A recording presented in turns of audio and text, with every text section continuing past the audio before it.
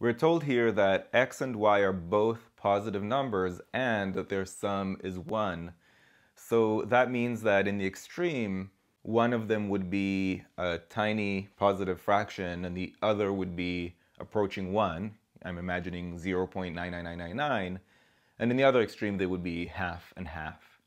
Now this question is asking which of the following is possible. So for that, I'm probably going to think about the extremes where x is 0.0001 and y is 0.99999, and then also the reverse.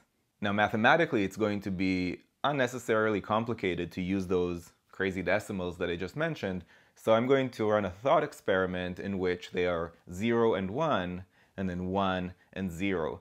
And the reason I say it's a thought experiment is because they can't actually be 0 and 1, but they can get very, very close to 0 and 1. So just as a thought experiment, I'll pretend that that's what they are. So if x is 0 and y is 1, the expression is 200. And if it's the reverse, if x is 1 and y is 0, then the expression is 100. So from that, I can say that the value of the expression could be anywhere in between 100 and 200, not including 100 and 200. Why not including? Because the values of x and y can't actually be 0 and 1, they can just get very close to those values. So the value of the expression is greater than 100 and less than 200.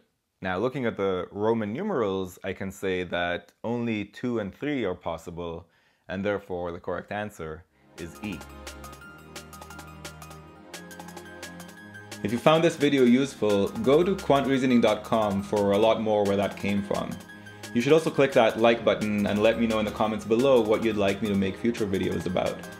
And of course, if you haven't yet subscribed, go ahead and do that and click that bell below so you get notified about future videos. See you next time.